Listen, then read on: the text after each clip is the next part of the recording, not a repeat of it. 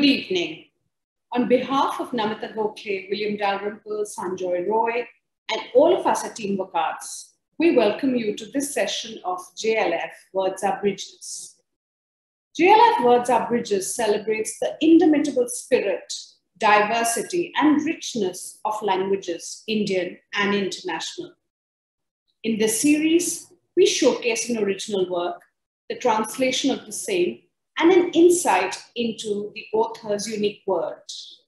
The series reinforces our vision to ensure the free flow of knowledge and ideas. Today we present Budhini, Sarah Joseph and Sangeeta Srinivasan in conversation with Anita Nair. Writer, political commentator, and activist Sarah Joseph's acclaimed book, Budhini, traces the uprooted life of a Santali girl who was famously ostracized by her community for greeting Prime Minister Jawaharlal Nehru with a garland and tika, seen as a symbolic matrimonial ritual during the inauguration of a dam in 1959. Translated from the original Malayalam to English by her daughter Sangeeta Srinivasan, the book is an enduring tribute to the female voice and to lives and stories that should not disappear within the folds of time. In conversation with writer Anita Nair, she delves into the process of translating this evocative tale and the wider biopolitics it covers. Sarah Joseph is a highly acclaimed Malayalam novelist, short story writer, political commentator, and activist. She is the author of eight novels nine collections of short fiction, five novelettes, several plays, children's literature, and several non-fiction books. Her many awards include the Sahitya Academy Award, the Kerala Sahitya Academy Award, the Vayallur Award, the Crossword Award, the Padma Prabha Literary Award, and the Oshantu Menon Award. Her name is inextricably linked with the feminist movement in Kerala and her radical writings have inspired and paved the way for future generations of Malayali working women and activists. Sangeeta Srinivasan is a bilingual author of several works of fiction and children's literature, including Acid, published by Penguin Random House in 2018. In addition to her original work, Srinivasan has translated Elena Ferrante's The Days of Abandonment into Malayalam a translation of one of George Simenon's My Great novels is forthcoming from Mathrubhumi Books. She is currently working on a translation of Chris Cross's cult feminist classic, I Love Dick. Anita Nair is the best-selling and critically acclaimed author of nine novels, including a crime series featuring Gauda. Her other books include a collection of poems titled Malabar Mind, a collection of essays titled Good Night and God Bless, and six books for children. Anita Nair has also written four audio stories, two plays, and the screenplay for the movie adaptation of her novel, Lessons in Forgetting, which was part of the Indian Panorama in IFFI 2012 and won the National Film Award in 2013.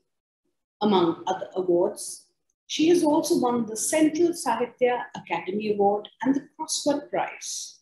Her books have been translated into over 32 languages around the world. She's also the founder of the creative writing and mentorship program, Anita's Attic. Anita is a high profile supporter of the UNHCR. We now present Budhini, Sarah Joseph and Sangeeta Srinivasan in conversation with Anita Nair. Over to you, Anita. Uh, hello, it's wonderful to have uh, Sarah Joseph and her daughter and her translator, Sangeeta Srinivasan, here uh, for this wonderful discussion that we hope we will have on her new book, Budhini. So, this is the book. I'd like to begin off. Uh, I, I know that, you know, the, the the book begins with uh, where Sarah Joseph has talked about how she came to write this uh, novel. And uh, perhaps she could talk a little more about that and say, because, you know, one of the interesting things for me is that, um, as uh, all of us have heard over and over again, all Indian writing in English is a work of translation in itself because we are pretty much writing about people who do not actually speak English, except for the very urban novels. Uh, so, here in this story, Budhini, uh, Sarah Joseph goes away from Kerala, which is actually the landscape and the milieu that she writes about. And she has located her story in Jharkhand, uh, or what is Jharkhand today, and is about this Santal girl called Budhini. So, what actually made Sarah Joseph go and write about a Santal girl called Budhini? Thank you, Anita. ഞാൻ ബുദ്ധിനിയുടെ കഥ കേൾക്കുന്നത് ഒരു സെമിനാറിൽ വെച്ചിട്ടാണ് ആ seminar അനിതയ്ക്ക് അറിയാം തൃശ്ശൂർ ജില്ലയിലുള്ള ചാലക്കുടി പുഴയിലെ ഉണ്ടാക്കണമെന്ന് ആഗ്രഹിക്കുന്ന അതിരപ്പള്ളി ഒരു ജലവൈദ്യുതി നിലയവുമായി ബന്ധപ്പെട്ടായിരുന്നു. അത് അനേക കാലമായിട്ട് മാറി മാറി വരുന്ന ഗവൺമെന്റുകളെല്ലാം തന്നെ അതിനുവേണ്ടി പ്രവർത്തിച്ചുകൊണ്ടിരുന്നു പ്രയത്നിച്ചുകൊണ്ടിരുന്നു.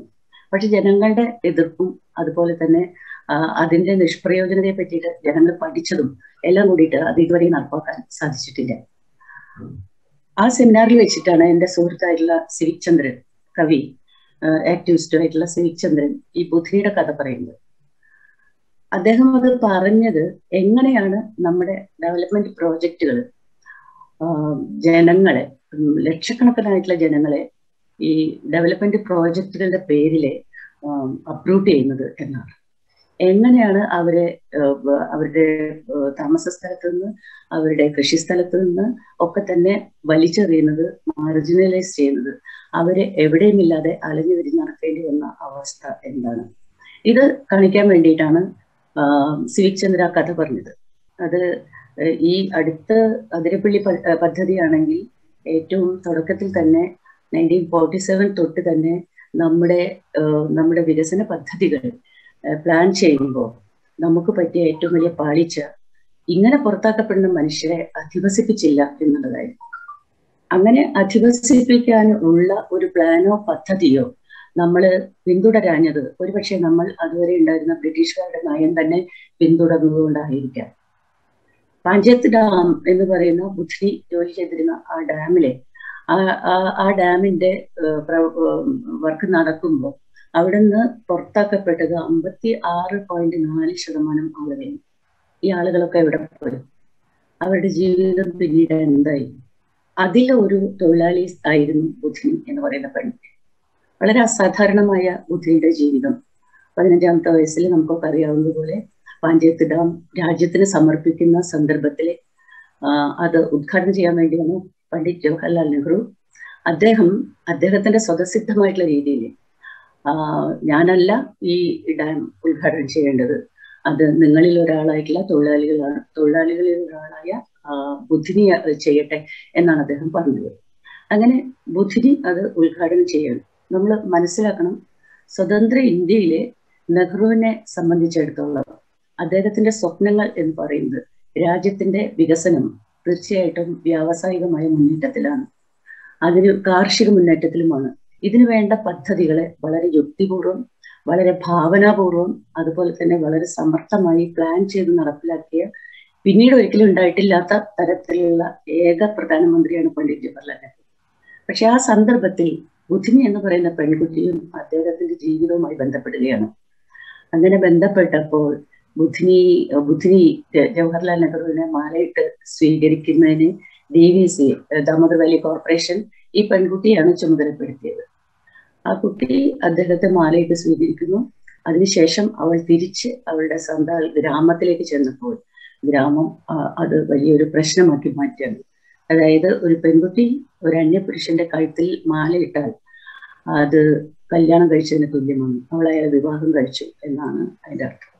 അതുകൊണ്ട് തന്നെ ബുധിനി സമുദായത്തിന്റെ അല്ലെങ്കിൽ ഗോത്രത്തിന്റെ താല്പര്യപ്രകാരമല്ലാതെ ഒരു അന്യജാതി പുരുഷനെ ഒരു ദിക്കുവിനെ മാലയിട്ട് സ്വീകരിച്ചതുകൊണ്ട് അവളെ അവരുടെ ഗോത്രത്തിൽ നിന്ന് പുറത്താക്കുകയാണ് പിന്നീട് ആ കുട്ടിയുടെ ജീവിതം കടന്നുപോയ വഴികൾ വളരെ വിചിത്രമായിരുന്നു. അത്തരത്തിലുള്ള ഒരു കഥ അത് അതൊക്കെ പറഞ്ഞു കേട്ടപ്പോൾ തന്നെ എനിക്ക് വല്ലാത്ത വിഷമമുണ്ടായി അത് കേൾക്കുമ്പോൾ. പിന്നീട് അത് ഞാനൊരു ഷോർട്ട് സ്റ്റോറി ആയിട്ട് എഴുതണം എന്ന് ആഗ്രഹിച്ചു. പക്ഷെ അത് ഷോർട്ട് സ്റ്റോറി അല്ല എന്ന് എഴുതാനിരിക്കുന്ന സമയത്തൊക്കെ എനിക്ക് തോന്നിക്കൊണ്ടിരുന്നു. കാരണം ബുദ്ധിനി ഒരു വ്യക്തിയല്ല. നേരത്തെ പറഞ്ഞതുപോലെ നമ്മുടെ ആയിരത്തി തൊള്ളായിരത്തി നാൽപ്പത്തി ഏഴ് മുതൽ നമ്മുടെ വികസന പദ്ധതികൾക്ക് വേണ്ടി പുറത്താക്കപ്പെടുന്ന ലക്ഷക്കണക്കിനായിട്ടുള്ള ആളുകളുടെ റെപ്രസെന്റേറ്റീവാണ് ബുദ്ധിനി. ആളുകളുടെ മാത്രമല്ല ഇത്തരത്തിലുള്ള ജലവൈദ്യുത നിലയങ്ങൾക്ക് വേണ്ടി മുങ്ങിപ്പോയ നിരവധി കൃഷി ഇടങ്ങളുടെയും എത്രയോ ആയിരക്കണക്കിന് ഹെക്ടർ കാടുകളുടെയും ഒക്കെ പ്രതിനിധിയായിട്ടാണ് ബുദ്ധിനി എനിക്ക് തോന്നിയത്. തന്നെയുമല്ല ബുദ്ധിനി പിന്നെ വാർത്തകളിൽ മുങ്ങിപ്പോയി. അന്നത്തെ ഒരു ദിവസം പ്രാധാന്യം ബുദ്ധിനിക്ക് ഉണ്ടായിരുന്നു. പിന്നീട് ബുദ്ധിനി എവിടെയും വരുന്നില്ല. അങ്ങനെ തന്നെയാണ് ആ ഡാം പണിത മുഴുവൻ മനുഷ്യരും അതുപോലെ തന്നെ അതിനുവേണ്ടി പ്രയത്നിച്ച തൊഴിലാളികളും എല്ലാവരും തന്നെ. അവർ പിന്നെ പിക്ചറിൽ ഇല്ല.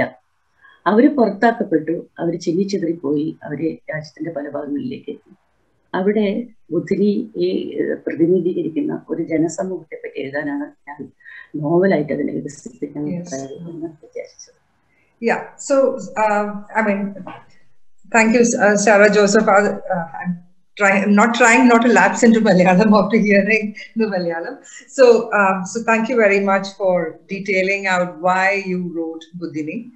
Uh, Sangeeta, now while you were translating it, uh, uh, you know, one of the, I've only translated one book in my life, really, but uh, even then, I would keep thinking that every time I came to a particular, you know, phrase, not a word, a particular phrase, and uh, there would be one part of me that would say that uh, if I was going to write this, this is how I would write it. You know, this need to tweak everything. So while you were working on Buddhini, uh, and especially because it's your mother's, did you ever think you could take such liberties, or did you, uh, you know, just stay very true to the text? Um, there were instances where I wanted to take the liberty, but uh, I think I would rather be truthful to the text because uh, I I feel um, I feel a writer expects that kind of a sincerity from his or her translator. So uh, there were a lot of uh, different words or different phrases or uh, the Somali usages too. But as we all know, each language has its own vernacular specialities, and sometimes it would be very hard for us to translate. Sometimes we may, uh, it, it would be like uh, we, we have a lot of idioms in English. So when you, but we don't have such, uh, we don't have such idioms in our, our language, maybe um, not similar to them. So maybe you feel like inventing something, you could feel like writing it your own way, as you said.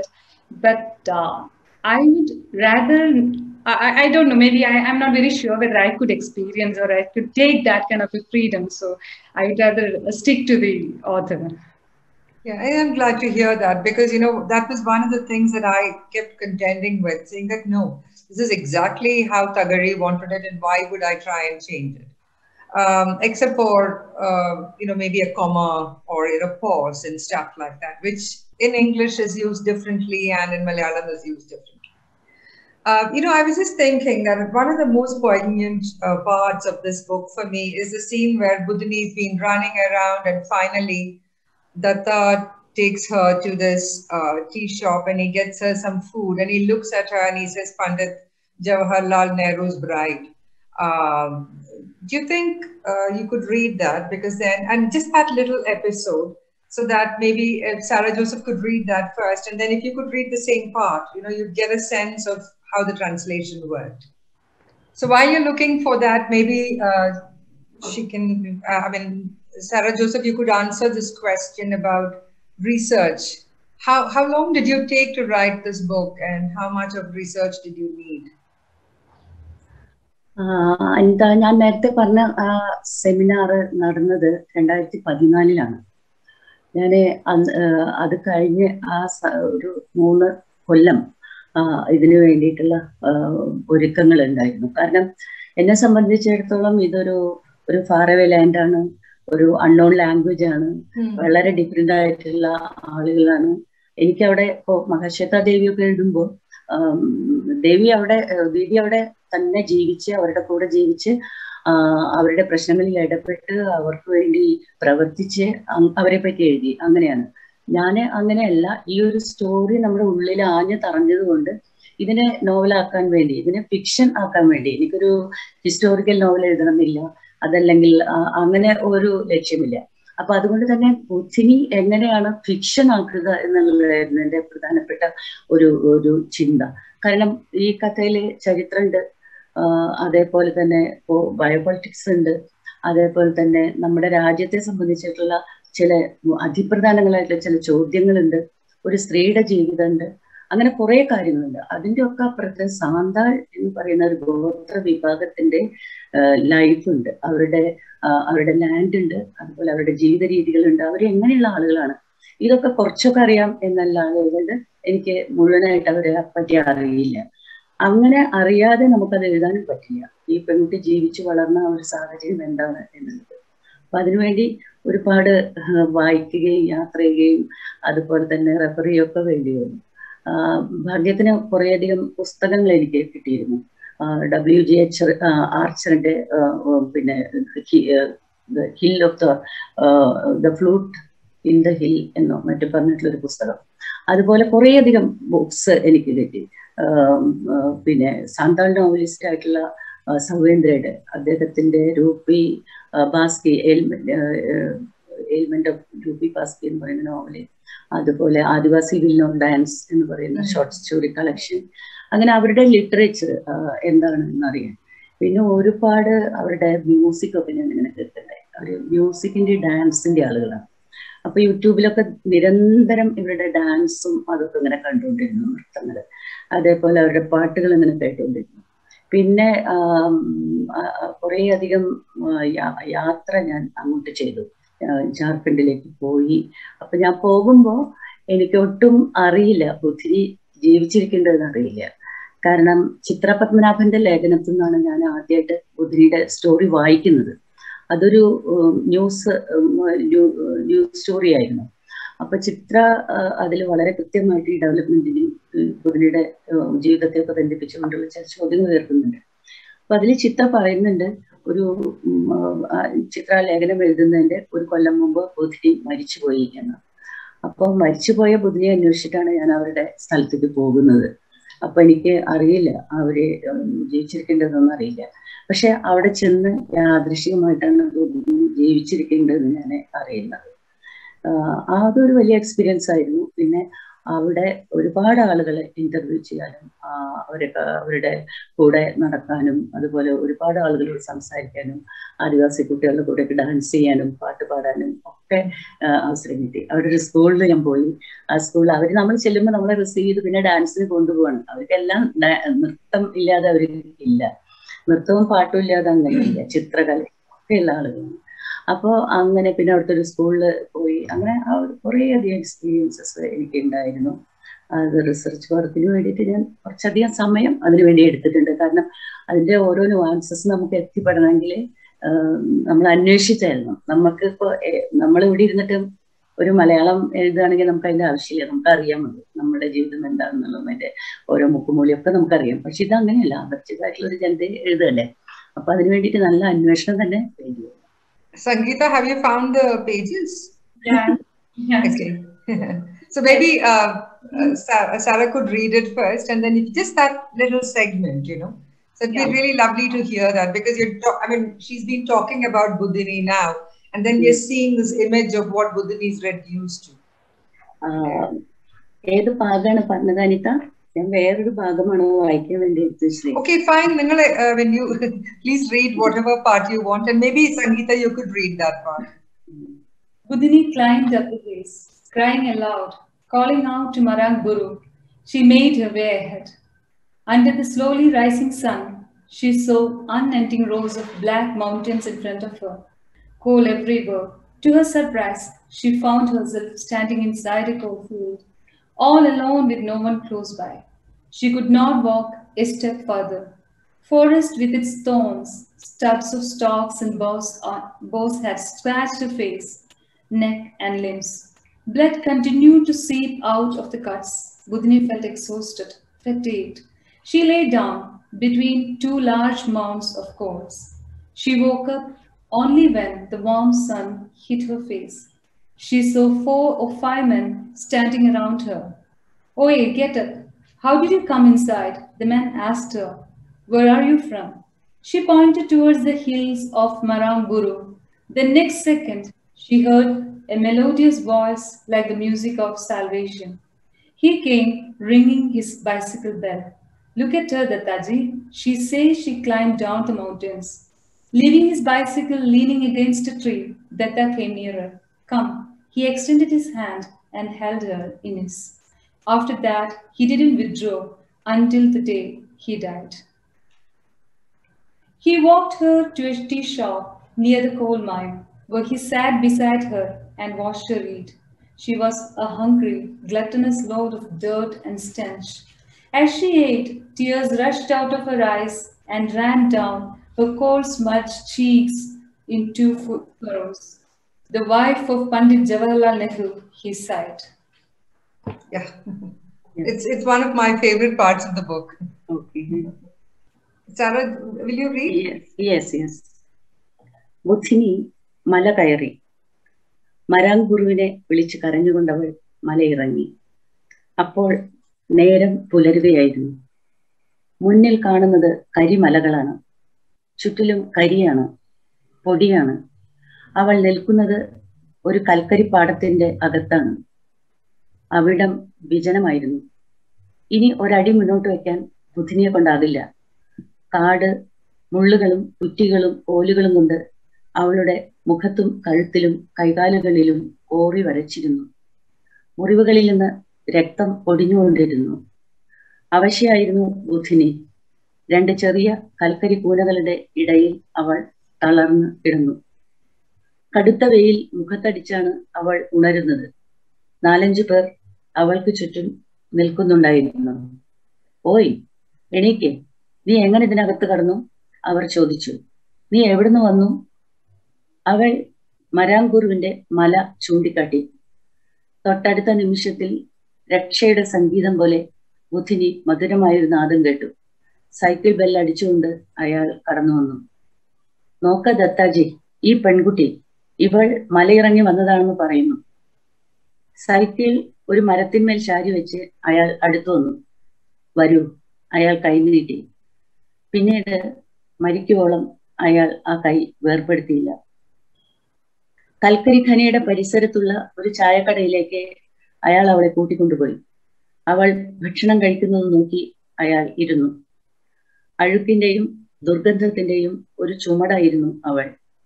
അവൾക്ക് വിശപ്പും ആർത്തിയും ഉണ്ടായിരുന്നു അവളുടെ കണ്ണിൽ നിന്ന് കണ്ണുനീർ കുതിച്ചു ചാടിയിരുന്നു കരിപുരണ്ട കവിളിലൂടെ അത് രണ്ട് ചാലുകളായി താഴേക്ക് ഒഴുകിക്കൊണ്ടിരുന്നു പണ്ഡിറ്റ് ജവഹർലാൽ നെഹ്റുവിന്റെ ഭാര്യ അയാൾ നെടുവേർപ്പെട്ടു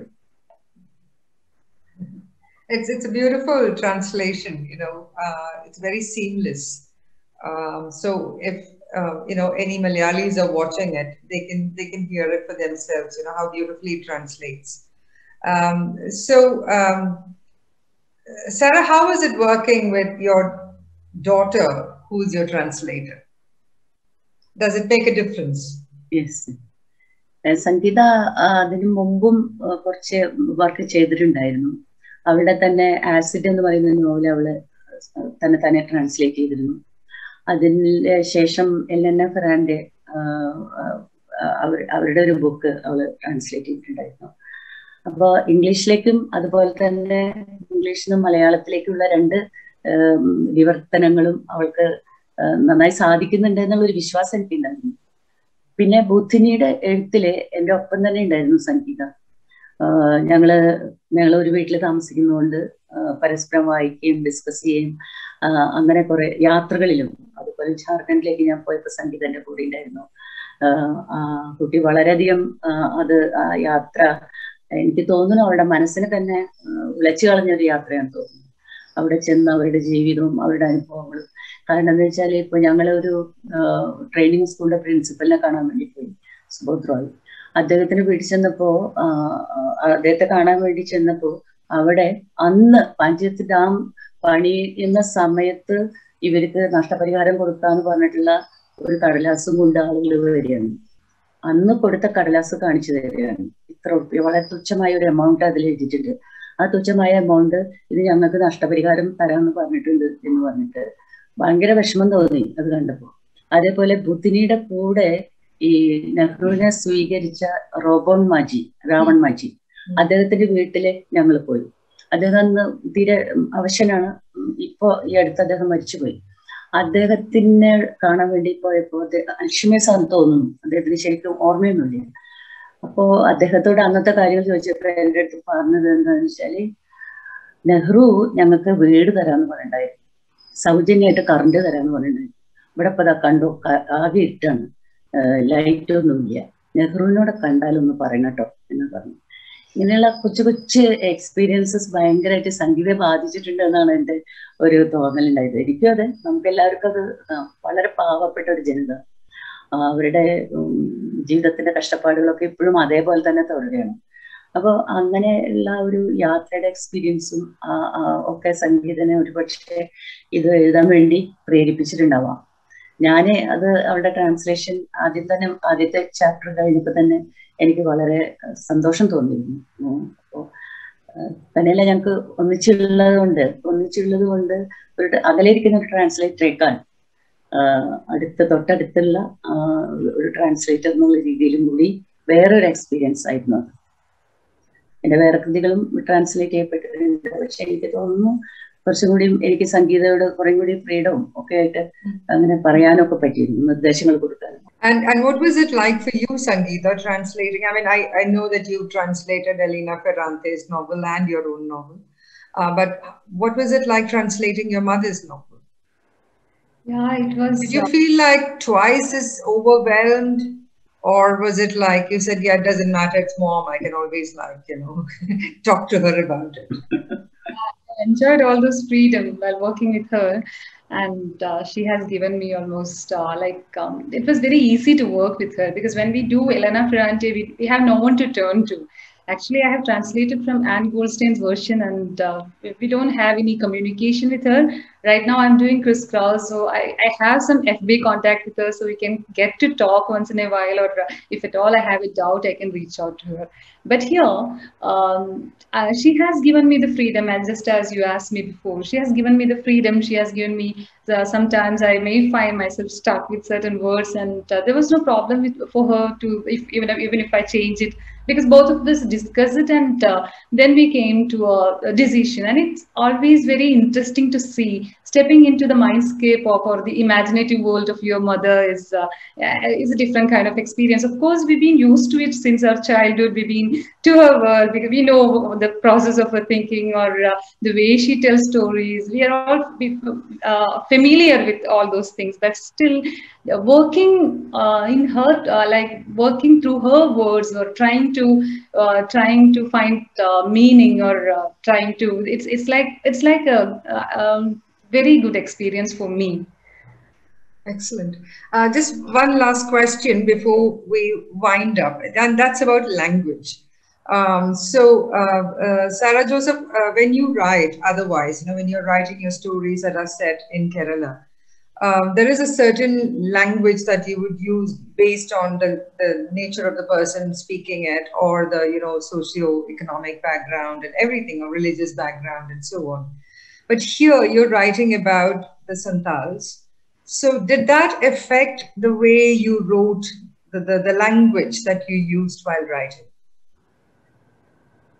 ശരിയാ അനിത പറഞ്ഞത്. കാരണം എന്താ വെച്ചാൽ ഇപ്പൊ നമുക്ക് നമുക്ക് അനിതയ്ക്കും അറിയാലോ.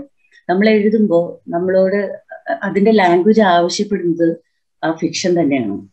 അത് ആവശ്യപ്പെടും നമ്മളോട്. ഇന്ന ഇന്ന മാതിരി ഉള്ള ഭാഷയിലാണ് എഴുതേണ്ടത് അപ്പോൾ അതുകൊണ്ട് തന്നെ ഓരോ എഴുത്തും ചിലപ്പോ വളരെ വ്യത്യാസമായിട്ട് വരാം. പാലാഹയുടെ പെൺമക്കൾ എന്ന് പറയുന്ന എന്റെ നോവൽ എഴുതിയ ആ ഒരു ലാംഗ്വേജിൽ എനിക്ക് എന്തായാലും ബുദ്ധിനെ എഴുതാൻ പറ്റില്ലല്ലോ. അത് വളരെ ഒരു സാംസ്കാരികമായിട്ട് വളരെ വ്യത്യസ്തമാണ്. അതുപോലെ ഭാഷയും അവരുടെ ചിന്താരീതികളും അവരുടെ അവർ നല്ല നല്ല കവിത ഉള്ള ആളുകളാണ്. അവർ വർത്തമാനം പറയുന്നതും പെട്ടെന്ന് പെട്ടെന്ന് കവി കെട്ടിണ്ടാക്കിയിട്ടുള്ള പാട്ടുകളാണ് അവരുടെ. അവർക്കൊരു വളരെ ഹ്യൂജായ ഒരു ഗാനശേഖരം തന്നെയുണ്ട്. അത് അത് എത്ര എപ്പോ തുടങ്ങി എപ്പോ അവസാനിച്ചു എന്ന് പറയാൻ പറ്റാത്ത വിധത്തിൽ ഇപ്പോഴും എപ്പോഴും അങ്ങനെയാണ്. അപ്പോ ആ പാട്ടുകളുടെയും അതുപോലെ തന്നെ നൃത്തത്തിന്റെയും താളവാദ്യങ്ങളുടെയും ഒക്കെ ഒരു സ്വാധീനം അവരുടെ ഭാഷയിലാണ് അപ്പൊ നമുക്ക് അവിടെ വേറൊരു രീതിയിൽ പോകാൻ പറ്റില്ല. ഞാനത് സ്റ്റാൻഡേർഡ് ലാംഗ്വേജ് എടുക്കാനുള്ള പ്രധാനപ്പെട്ട കാരണവും അതാണ്. മറ്റൊന്നിലേ നമുക്ക് എഴുതാൻ പറ്റില്ല. കൊളോക്കിയലായിട്ടുള്ള ഒന്നും നമുക്ക് കൈ അങ്ങനെ ചെയ്യാൻ പറ്റില്ല. പിന്നെ ഡയലക്റ്റ് അവരുടെ ഡയലക്റ്റ് നമുക്ക് വശവുമില്ല. പക്ഷെ എങ്കിൽ പോലും ഞാൻ ലിംഗ്വിസ്റ്റിക്സ് കുറച്ച് പുസ്തകങ്ങളൊക്കെ അവരുടെ അവരുടെ ഭാഷ പഠിക്കാൻ വേണ്ടിയിട്ട് കുറെ കുറെയൊക്കെ നോക്കി. പക്ഷെ വളരെ വളരെ സന്തോഷകരമായ ഒരു കാര്യം ഒരുപാട് പാട്ടുകൾ കവിതകൾ ഈ പുസ്തകത്തിൽ നിറഞ്ഞു കിടക്കുന്നുണ്ട്. അത് എത്രയാന്ന് പറയാൻ പറ്റില്ല. അത് ഇപ്പോ ഒരു കാര്യം അവർ ഡയറക്റ്റായിട്ട് പറയില്ല. മരിച്ചു എന്ന് പറയില്ല. എന്റെ അമ്മ പറന്നുപോയി എന്ന് പറയും. മരിച്ചു എന്നുള്ള വേർഡ് അവർ ഉപയോഗിക്കില്ല. എന്റെ അമ്മ പറന്നുപോയി എന്ന്. അതുപോലെ അമ്മയെ പറ്റി പറയാം പാൽമരം എന്നാണ് ആ വാക്ക് ഉപയോഗിക്കുന്നത്. അമ്മ പാൽമരം ആണെന്നാണ്. ഇങ്ങനെ മനോഹരമായിട്ടുള്ള ചില സംഗതികൾ അവരുടെ ഇതിലുണ്ട്. ഇപ്പൊ സെക്സിനെ കുറിച്ചൊക്കെ പറയുകയാണെങ്കിൽ രണ്ട് മൈലുകൾ പെൺകുട്ടി നിന്റെ വീടിന് മുകളിൽ ഇതാ ഒരു മയിലെ പറന്നു വന്ന് ഇറങ്ങിയിരിക്കുന്നു എന്ന് പറഞ്ഞാൽ ഒരു ആൺകുട്ടിയുടെ മനസ്സിലുള്ള ആഗ്രഹത്തെ കുറിച്ചിട്ടാണ് അവർ സൂചിപ്പിക്കുന്നത്. ഇങ്ങനെയൊക്കെ ചിന്തിക്കുന്ന അല്ലെങ്കിൽ ഇങ്ങനെയൊക്കെ നിത്യജീവിതത്തിലെ നിത്യവ്യവഹാര ഭാഷ അങ്ങനെ ആയിരിക്കുന്ന ഒരു ജനത പിന്നെ അപ്പോൾ അതുകൊണ്ട് തന്നെ അവരെ അവരെ ആ നോവൽ എഴുതുമ്പോൾ ഞാൻ എനിക്ക് തോന്നി വേറെ ഒരു തരത്തിലുള്ള പരീക്ഷണങ്ങൾക്കും അതിൽ പറ്റില്ല. പ്രത്യേകിച്ച് ഞാനൊരു മലയാളിയാണ്. ഈ നോവൽ എഴുതി കഴിഞ്ഞിട്ടും ഇപ്പോഴും എന്റെ ആശങ്ക ഒരു സന്താൾ ഒരാൾ അത് വായിക്കുമ്പോൾ ഇതിൽ എന്തൊക്കെ പോരായ്മകളായിരിക്കും കണ്ടെത്തുക എന്നുള്ളതായിരിക്കും അതാണ്. അത് പക്ഷേ ഈ ഇന്നലെ എന്റെ മോളെ എനിക്കൊരു ഒരു ഒരു കുട്ടിയുടെ ഇൻസ്റ്റാഗ്രാമിൽ ഒരു ഇത് അയച്ചു തന്നു. ആ കുട്ടി സാന്താൾ ഗേൾ ആണ്. അവൾ എഴുതിയിരിക്കുന്നത് അവൾക്ക് അവളുടെ വീട്ടിലേക്ക് പോകാൻ കഴിഞ്ഞു എന്നുള്ളതാണ് അത് വായിച്ചിട്ട് നോവൽ വായിച്ചിട്ട്. എന്റെ ദാദു എന്നോട് കഥ പറഞ്ഞു തരുന്ന പോലെ തോന്നി എന്ന് പറയും. അപ്പൊ കുറച്ച് ആശ്വാസം. പക്ഷെ എനിക്കറിയാം നമ്മൾ നമ്മളുടെ സ്വന്തം അനുഭവങ്ങൾ നമ്മുടെ സ്വന്തം ഭാഷയിൽ ആഖ്യാനം ചെയ്യുന്നതും നമുക്ക് അപരിചിതമായ മറ്റൊരു ജീവിതാനുഭവം അവരുടേതല്ലാത്ത നമ്മുടെ ഭാഷയിൽ ആഖ്യാനം ചെയ്യുന്നതും വളരെ വളരെ വ്യത്യാസമാണ് Thank you. And Sangeeta, one last question to you. So, had you would you consider translating one of your mother's novels set in Kerala? Yes, I would like to now. I, now that I have translated one, I think I can. I, I can try. Yeah. So, so thank you very much, uh, Sarah Joseph and Sangeeta Srinivasan. It was wonderful listening to you talk to talk about your work of uh, original work of art and the translation Buddhini. And I wish the book all the very best. And I hope lots of people pick it up and read it. Thank you. Thank you, Sarah Joseph, Sangeeta Srinivasan, and Anita Nair for that beautiful session. We look forward to seeing all of you back here next week on the 29th of July with another session. Until then, please do stay safe. See you. Good night.